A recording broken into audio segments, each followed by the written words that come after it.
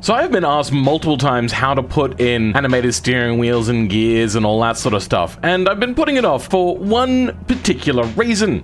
It is incredibly complex. This is probably one of the hardest mods you can do to your automation vehicle, though dual axle is still pretty difficult. But I suppose I'll jump into it, and we'll use this as the previous example, and put it on this car, which is given to me and asked if I could do it for them. So I thought, you know what, I'll take this opportunity and I'll actually finally do it. Now, there's a whole bunch of timestamps and we'll be going through it, but you will need Blender and probably the ability to use Blender. If you have experience though with 3ds Max, you can go ahead and use that if you so please. Then you'll also need some sort of code editor. You can use Notepad++, which is fairly lightweight and fairly simple, but I get more complicated so I personally use Microsoft Visual Studio.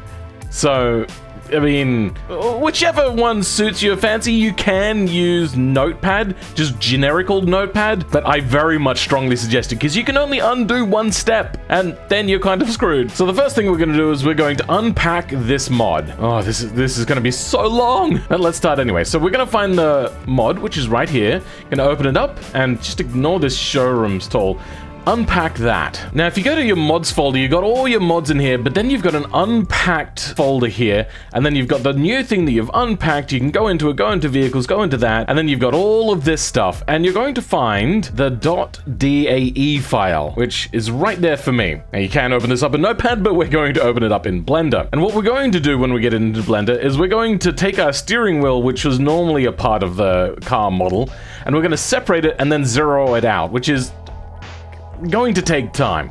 This is not a short process, it is long and tedious. Now, with a brand new thing open, we're gonna have down here our little bit of display, so if I forget anything, you could just look down here to see what key presses I'm doing. But generally, it'd be better if you did have an understanding of how Blender works or whatever 3D software you're using, because this is to go quite quick because I'm not to explain everything to you here. This is, once again, not a beginner tutorial. So we're going to press A, we're going to delete all of that, we're going to go F4, import DAE. Now we're going to find where we have that car unpacked. The way I do it, really cheatily, is I just have the thing open here, Control C on that, go here, Control V on that, and done. There we go, already found it. Done. Now this could take a really long time. It used to take me about 20 minutes, but then I reinstalled Windows like probably six months ago and it made it a lot faster. Now, all of this does not matter except for the gauges, which we're also going to work with, but this time around we're going to do just the steering wheel. So we're going to select that, Control I to invert, select everything else instead, then press delete, because we don't care about anything, now we've just got the body, which is where the steering wheel is. Now we're going to go into it by pressing tab, and we're going to try to select just the steering wheel now, and then we're going to invert the selection. Now we don't need the steering column and all that sort of stuff, because that's not going to rotate with it. All we're going to move is just the steering wheel. So we're going to try to select bits bits here and there, and then hit Control L, and just keep working away until everything's selected.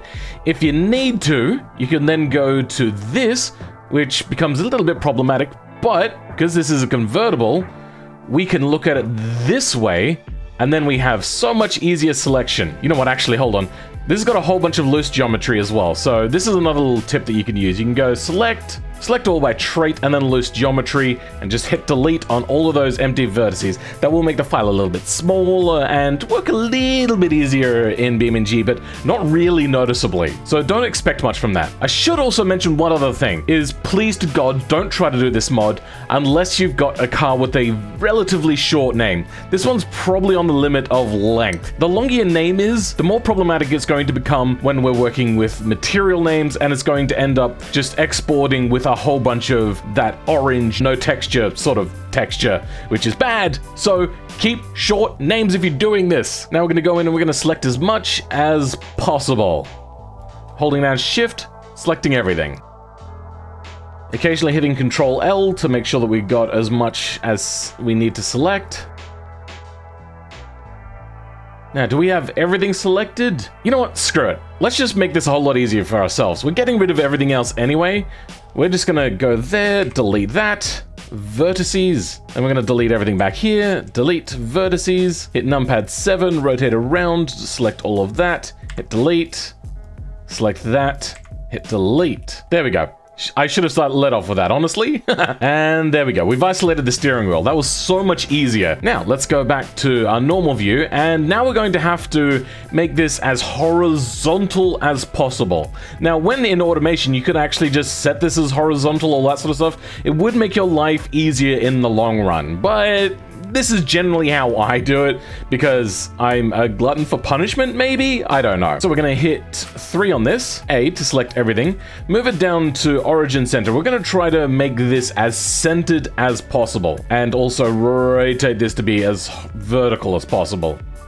Luckily, there's a bit of a grid there, so we can also just move things around, try to get it quite close. That should do it. One on the numpad, we'll move you around to this view, and then we're gonna try to center it. Now, luckily the steering wheel has a perfect little dot right in the middle, and this is our center of origin, because I haven't moved the 3D cursor at all. So we're just gonna hit G, and we're gonna move this into place. And that's about as good as we really need it to be. It'll be really hard to notice when working in such fine details. And let's just have one last look at its verticalness looks fairly good, so I suppose that's as much as we can hope for. Now, pressing tab, back to object mode, we're going to rename this to whatever you want it to be. So I'm going to go steering underscore wheel.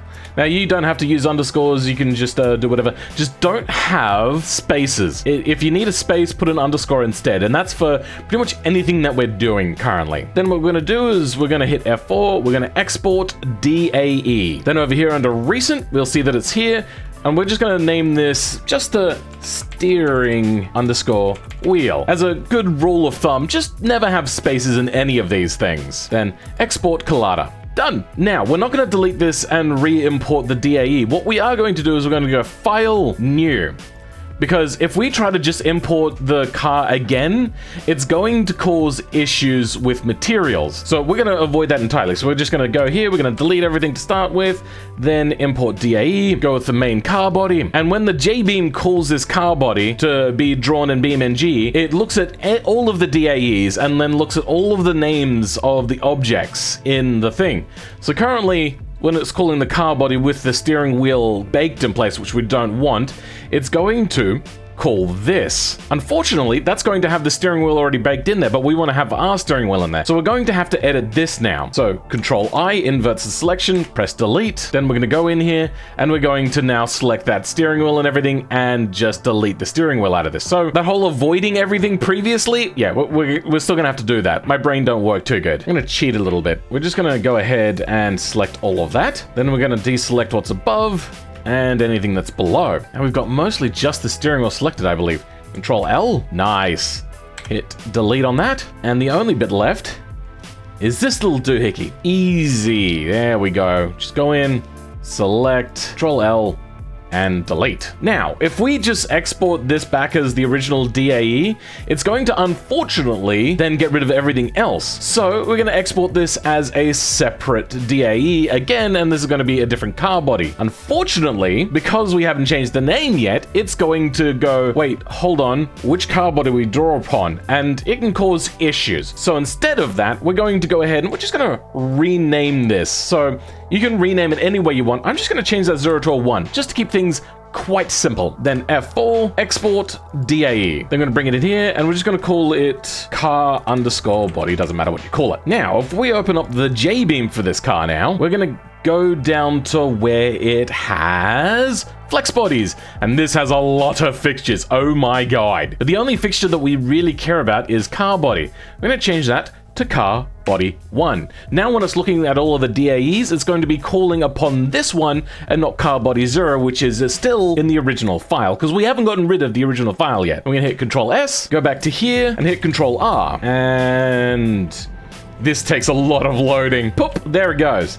Now we no longer have a steering wheel. Isn't that fantastic? Now this is where it starts to get hard. We're to start going into adding things into files. And there's basically two main things we need to add. One is nodes, and then the other one is a prop which calls upon the nodes and calls upon the new prop that we put in. Yeah, so I don't I don't want to do this tutorial anymore.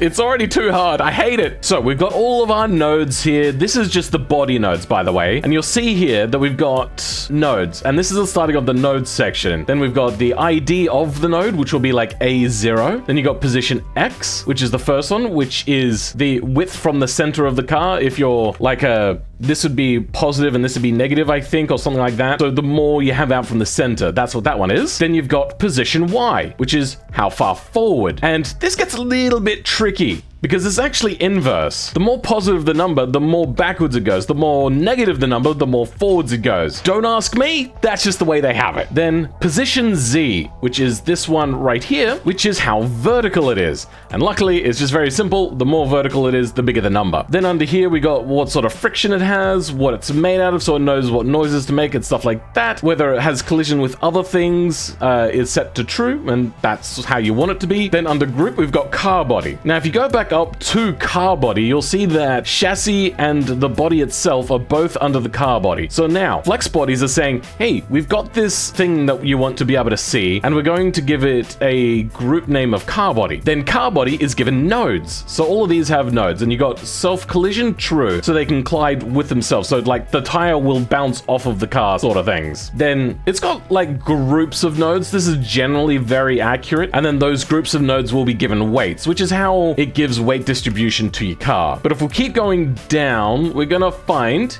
here's one now for engine, group engine. And if you look up, you'll see that the engine here, which is always misnamed, that's just the way automation does it because I'm assuming simplicity's sake, it's got the group type engine. And then the engine is called here self collisions false, and you've got all of your engine nodes, of which there's eight of them. Even though it says seven, you've actually got a zero here. And that just creates the perfect cube for it. Similar thing with the gearbox, except it's still called under this. And the engine zero to engine seven are all just the names of the nodes themselves. These can actually be called anything. It does not matter what the name of it is, as long as the name corresponds with the other beams and everything if you're creating things. Then you've also got exhaust, you've got things like fixture number plates, mirrors, grills, grills, grills, grills, Grills. Oh my god, they've got a lot of things in here. Jesus. So we're just going to go to the bottom of nodes. And then nodes is capped off with this bracket and comma right here. Then starts beams. But we're now in the node section, and I've just pasted in this little bit here. Now, keep in mind, for some reason in this software, I don't know if it's the way I've set it up,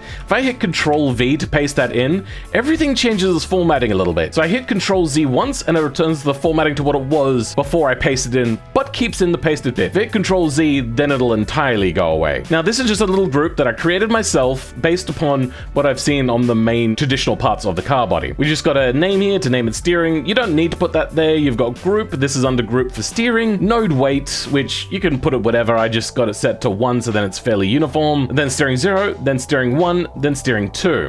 Ah, okay, let me explain. This is my car. If we hit Control T, you can see that the collision mesh is much bigger and based upon a different car, but that was just because the collision mesh for this was so messy that I just went, screw it, and I grabbed some other collision mesh. But in here, little bit hard to see, but we got ST1, ST0, and down here is ST2. So yeah, it's a little complicated, but it, you'll start to understand.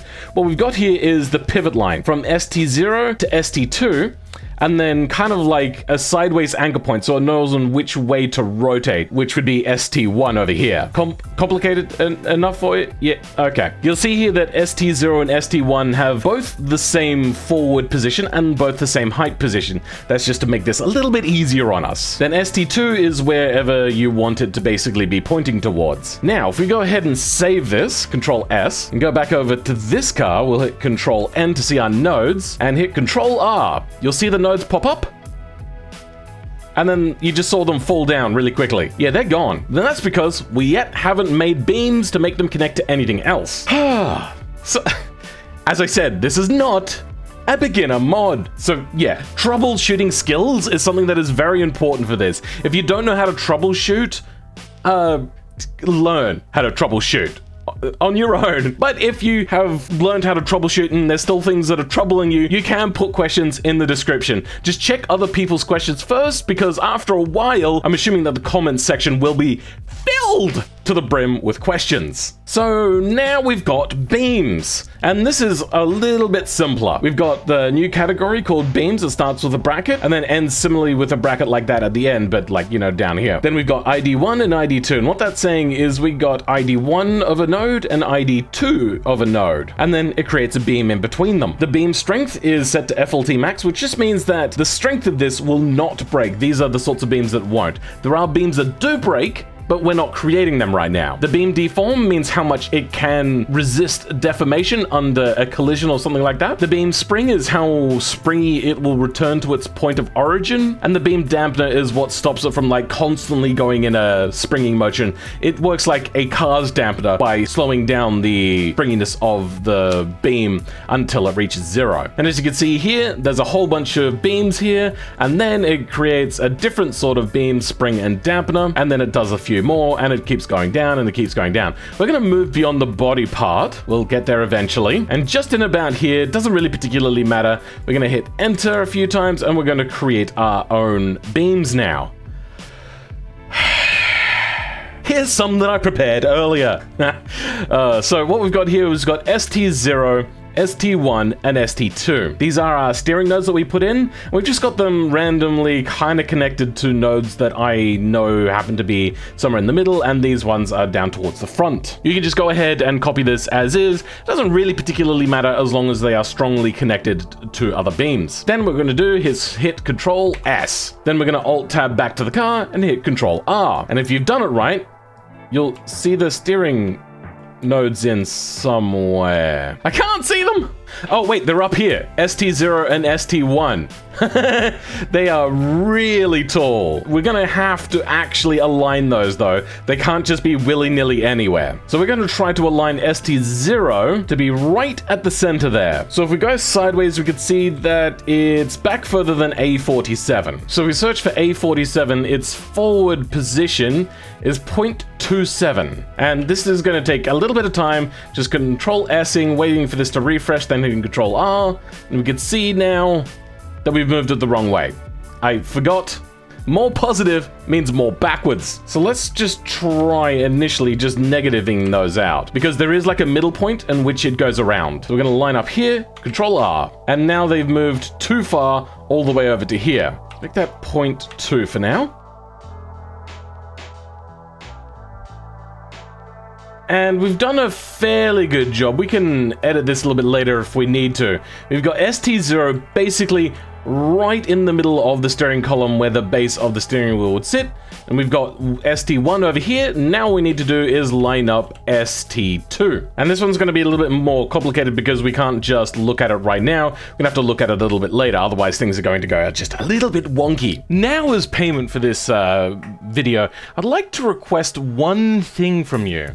If you're not subscribed, please check out my other content and consider subscribing if it is the sort of stuff you like. I mean, at least in the future, there will be more tutorials like this one. Now for the next part, and this is basically the crux of everything. These things, like the dials, yeah, headlights as well, all that sort of stuff come under the banner of props. Now, because I had the whole steering wheel a part of the previous car's thing, uh, I didn't have the prop set up in the main J-beam. I actually had it set up in the suspension area. So then you can see here that the steering wheel doesn't just stay with a thing with a body. It moved with the suspension itself so it could call upon the suspension nodes easier. This time, however, we don't need to do that, but this is going to be a new ground for me. We've got here just the regular old props, but this is making light props, and we're going to not do light props, but a different sort of prop instead. So we're going to create a little bit of a gap here. Now, I've never done it this way, but this is how we're going to do it now. We're going to paste in here our props code,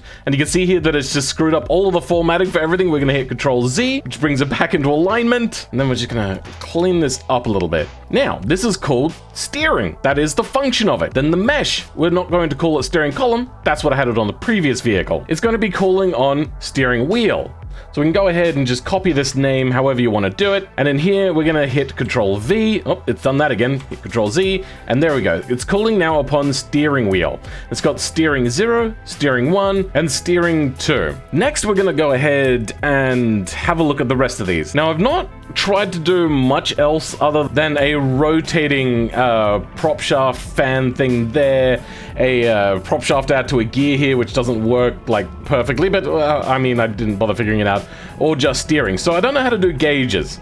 But for now, you're going to be knowing that these uh, things. You know what? I don't really know what a lot of this does. It has been a very long time. When did I release that video? Wow. Five months ago.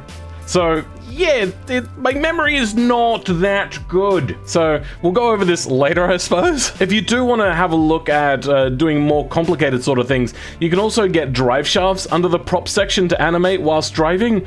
Just look up in Google props and then whatever it is that you're trying to look for, and you'll find all of the information you want. Now, Control S on that, and then we're gonna hit Control R, and Bazingo Zongo, look at that, perfect. There is nothing wrong with the steering wheel, stop looking at it. Alright, you know what? Yes, fine, it's upside down. But look at that! It steers and everything! Woohoo! Yay! We'll figure out the wrong rotation uh, shortly. Right now, you can see that this doesn't line up properly, and that's because A2 is too high. We need to drop A2 down a little bit. So we're gonna look at this side on, and then we've got the verticality uh, part of the node. We're just gonna drop that down a bit to zero 0.9. And control R back here, and you can see that it's rotated again. Yes! That is perfectamundo. We're just noticing now that it's off a little bit, so I'd rather it come back. There's two ways of doing that. One, we can move these nodes, or two, you see this? We could actually go into here, hit A for everything, and then just press G to start moving it, and then lock it onto the Y coordinate, and we could just move it forwards. And that will then move it forwards for us. And that is, trust me, so much easier. How much further forward do we need to move it? Only just a little bit though. So we're just gonna grab that. We're gonna hit G and then lock it to the Y coordinate and just move it forwards. Probably about that much is enough. Then F4, export, DAE, find our way back, and hit steering wheel. Now, this you don't have to hit Control R for, it'll update on its own and the game will go ahead and crash. Oh, no, there we go, and it's good. So now we've fixed that issue. But I'm noticing now that it's angled down a little bit, so we have to lift ST2 up a little bit. Hit Control R on that, we'll just see how this gap closes up. Oh, perfect. Look at that. Okay, well, maybe not perfect. If you have a look from top, we can see that there's a little bit of an alignment issue. Is there? I don't know. Let's just make it upside down for now. Base rotation, I think? Let's set that to zero. Well, that was the wrong way. maybe set this one to zero. Has that fixed our rotation issue? Maybe. I, I think so. Try putting this to 180. That has gone the wrong way.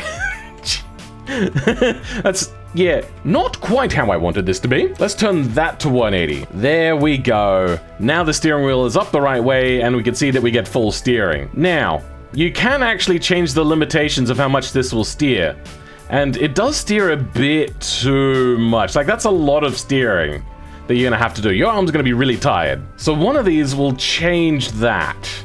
Uh, I believe it's this one, minimum, maximum, and offset, I think. Really? No. Yes, it is. Uh, ignore base translation for now. That's if you need to move things independently, so you'll just ignore that one. So I think if we make this 0.5, save that, come back to here and control R, and now we steer considerably less. So you can fiddle with that and get that working the way that you want it to. For now, that's all that. Control and cycle through to get rid of all of these nodes. And yeah, you have yourself a steering wheel. Yay, good for you. Now to do the gauge. I personally have never done a gauge, but let's figure that one out together, I suppose. I don't know, I believe there is a way to do a digital gauge, but we're just gonna go with the RPM for now. So we're gonna go here, we're gonna go File, we're gonna go, hold on, New, General, don't save.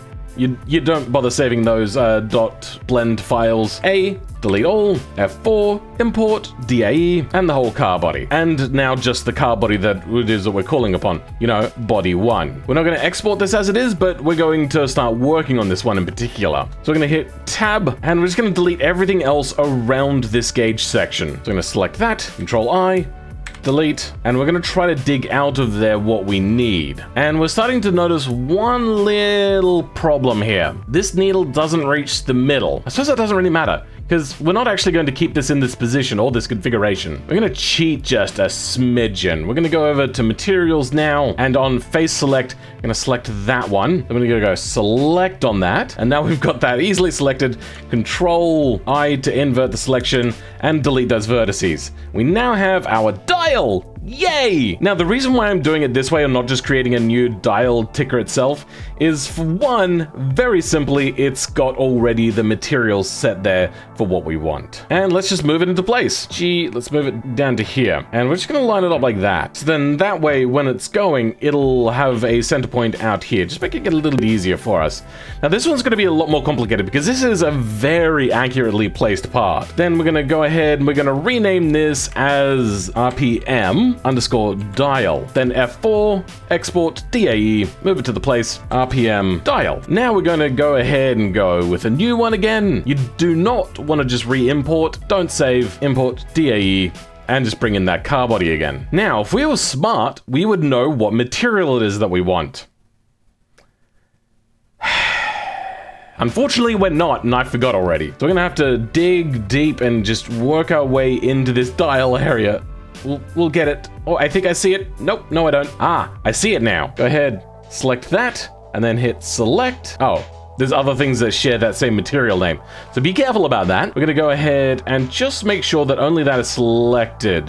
Hopefully, we don't miss anything. Now that that's the only thing selected, we're gonna go ahead, once again, just delete it. Then tap back to object mode, export DAE, and we're gonna re-export this as the car body. Now if we come back here, it'll take a second to update, and on its own, poof, it's gone. Now we have to edit it back in. I think I'm just gonna grab the existing nodes and move them. So we're gonna go ahead and select this, Control C, uh, make a gap in here, Control V, Control Z, and this is now going to be RPM, and this one is also going to be named RPM. We're going to call these RPM, RPM, and RPM. So we have RPM 0, RPM 1, and RPM 2. We're just going to move them forwards a little bit for now, or at least RPM 0 and RPM 1. Just going to move that to 0.05 to 0.08. Now we're going to take this section and duplicate that. Control C, Control V, and we're going to call these RPM. Good.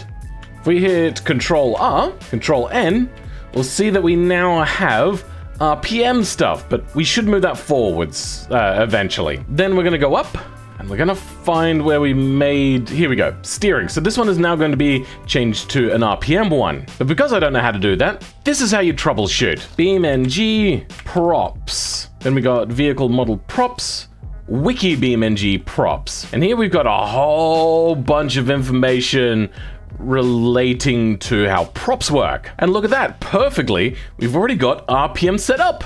Nice! We will have to play with this a little bit. For now, we're just gonna grab that, and just under here, we're gonna create a new line and paste it in. Now, this is not what we're calling upon. What we're gonna be calling upon is the dial. So we're gonna grab the name of it, and that's going to go in there. And hey presto, I'm also gonna rename our things to RPM 0, RPM 1, and RPM 2. Hit Control S on that, bring it over to BeamNG, wait for it to refresh and hit Control R. We now somewhere should have a dial. I think.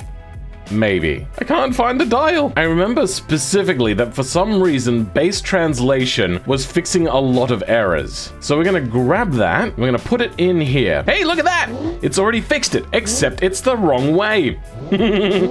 but we're getting so much closer. As you can see, we've already figured out a lot of the issue just by pure troubleshooting, trying things out. And we're also noticing that the RPM dial also stops somewhere around 6,000 RPM and then it doesn't keep going and then we'll come back down after it drops down below there. So we're gonna have to fiddle with a bunch of settings. For now, we're gonna move it a little bit forwards though. Move that forwards a little bit, bring it in, control R. This is gonna take a while. Oh, and we can see now that it starts at basically vertical. That we can fix. Just move that forward to 0.06. We're getting closer, and I think the angle is off a little bit because it uh, comes out here, but then is recessed back there.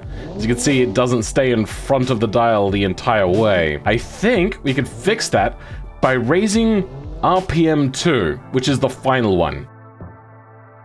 Perfect, now it's behind the glass. Wait, it's poking out a little bit.